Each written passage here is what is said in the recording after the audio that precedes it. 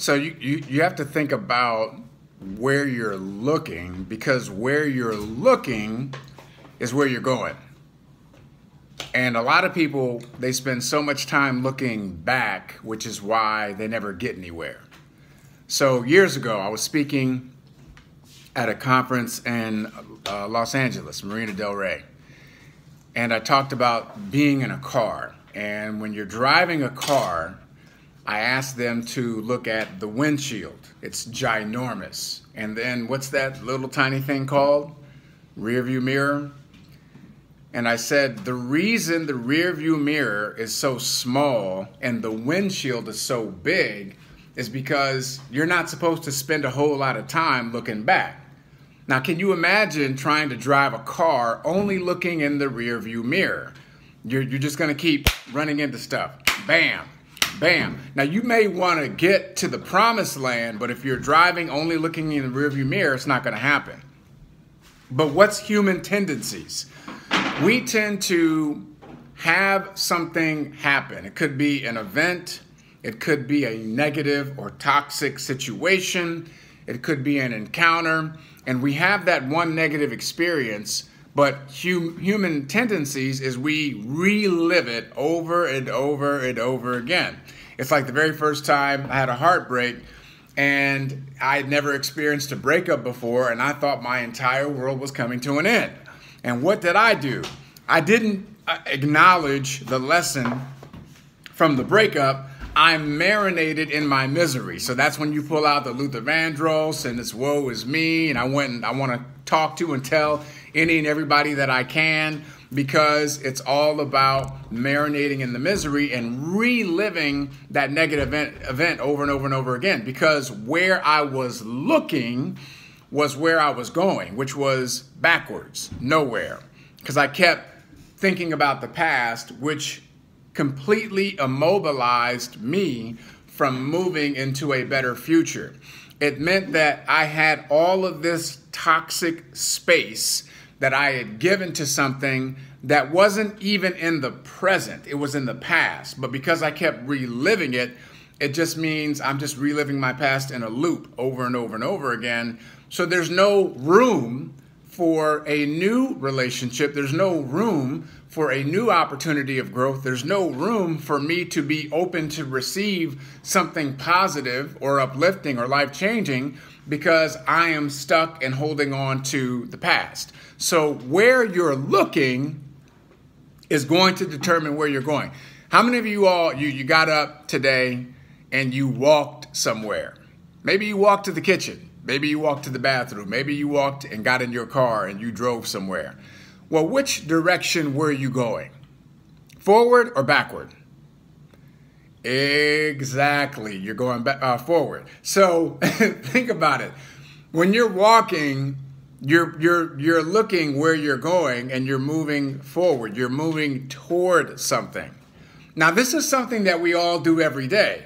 So why do we think that we are going to get growth and progress in our lives if we continuously replay and live in the past and we, we want better outcomes. We want change. It's it's like the person who says well i want to have a much better and healthier lifestyle and i, I want to get in shape. But what they do is they keep thank you they keep looking at what what they didn't do, what they don't have, how they look now.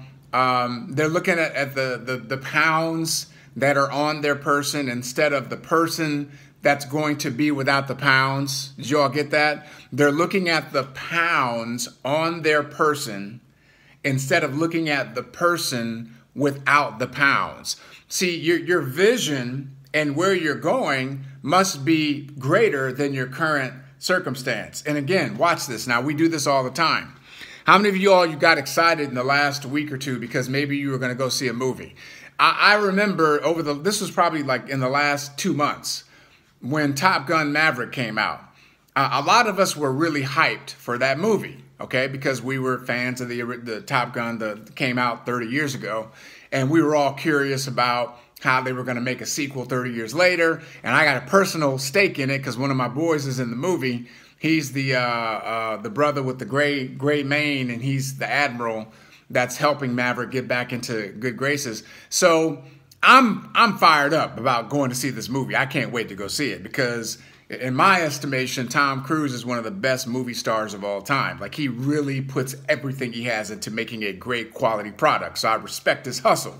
So I'm excited. So I I wake up that day and I'm I'm getting getting ready to go, right? Getting in the car and I'm moving forward. I'm going toward a new experience with energy, excitement, and anticipation, you all. I'm fired up.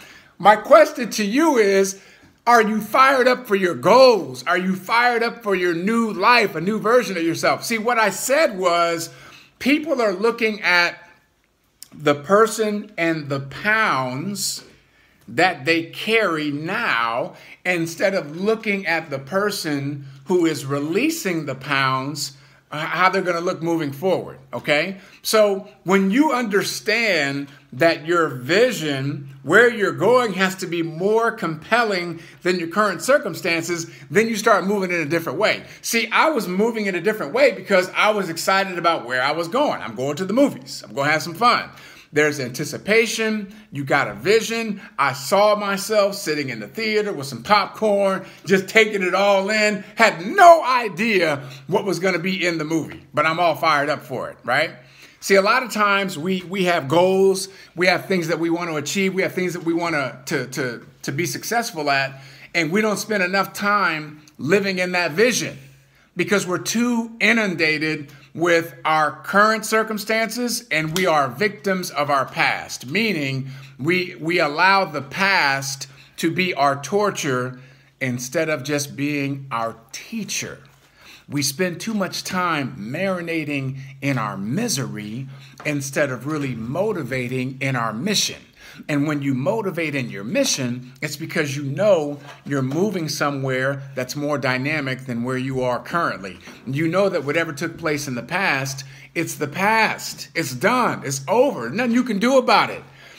How many of you all ever been in a relationship and you had some some rough patches? How many of y'all ever been in a relationship you had some events that were not pleasant? And at some point, you have to make a decision that you're going to move on. At some point, you got to make a decision that you're going to focus on healing. You're going to focus on being better with each other, to each other, better human beings, and how you show up. You're going to focus on those outcomes. Otherwise, if you spend all your time just focusing on the past and you're not consciously getting better, and I understand it's a dance, right? You, you have to have two to tango. I know some of y'all in relationships and you only got one person that's willing to do the work. I ain't talking about that. I'm talking about when you got two people that are committed to do the work. Well, I I can't move forward and I can't move us forward if all I'm doing is living in the past. Okay? So where you're looking is going to determine where you're going. Your behavior comes before your success. You're going to have to behave your way to success. You're going to have to behave your way to success. And then watch what happens. Heard a great story. Um, gentleman was preparing to take uh, the SATs. And he was not a good student at all, had no business even thinking about taking the SATs because he was, he was really a poor student. Long story short, he ends up taking the SAT and you know everybody's kind of expecting him not to get a high score. It's a, a SAT, I believe, is 800 in the in the um, English and 800 in the math. Okay, uh, 800 comprehension, 800 math.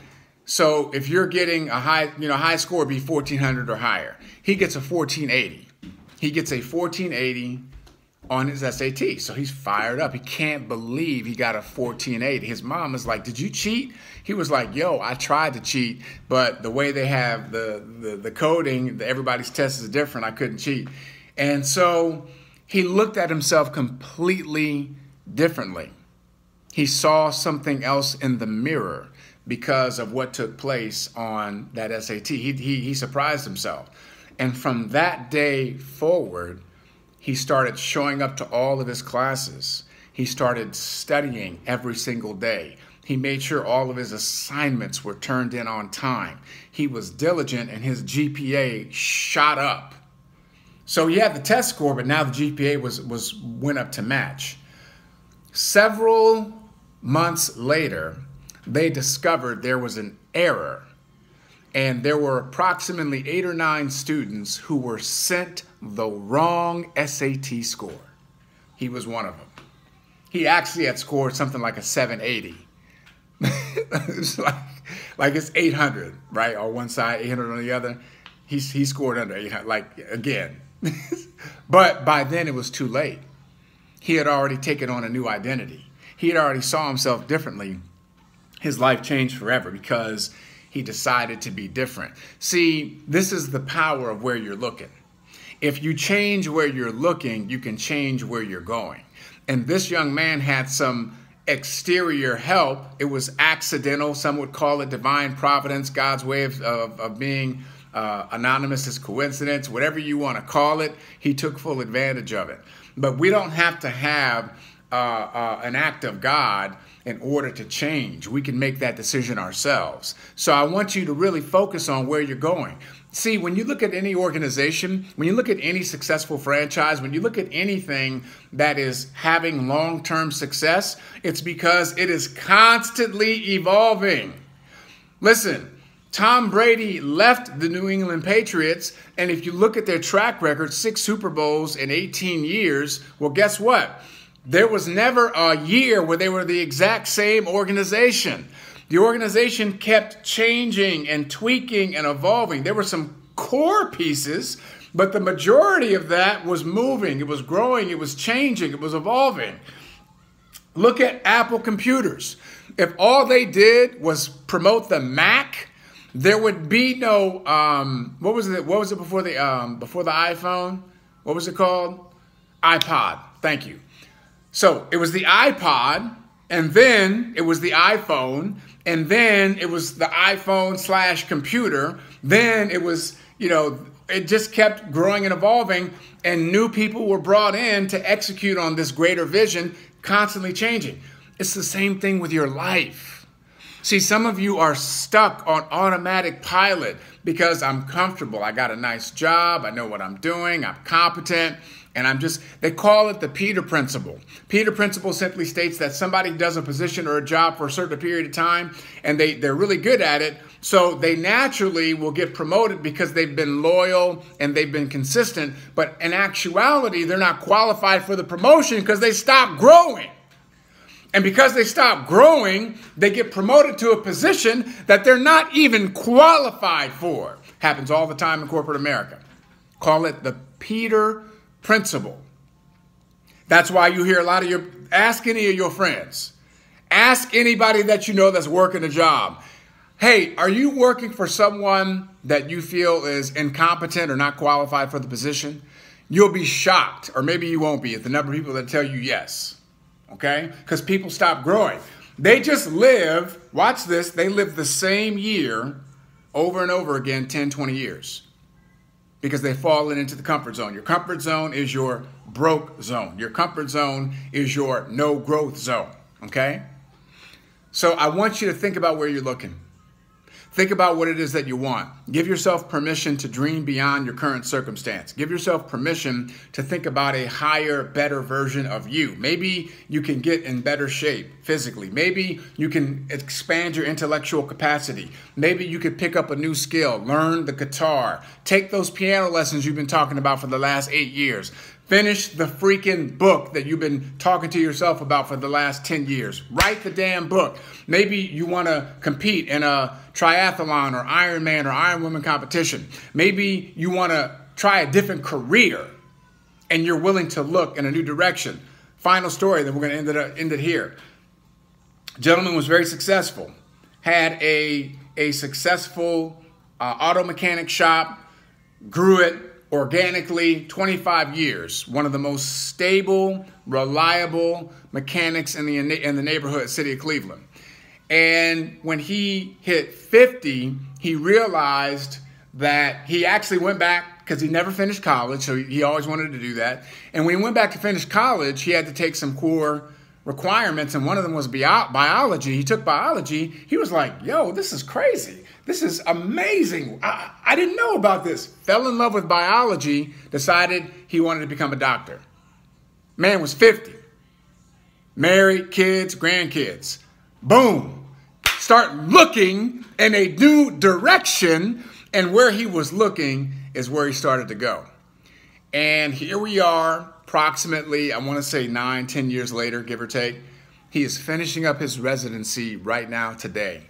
He is a full practicing physician because he gave himself permission to reinvent himself, to recreate himself, and to look in a new direction that was beyond his current circumstances. Was he already successful? Yes. Could he just stay where he was? Yes. But he gave himself permission and dared to dream something bigger, something greater for himself. I am challenging you to do the same.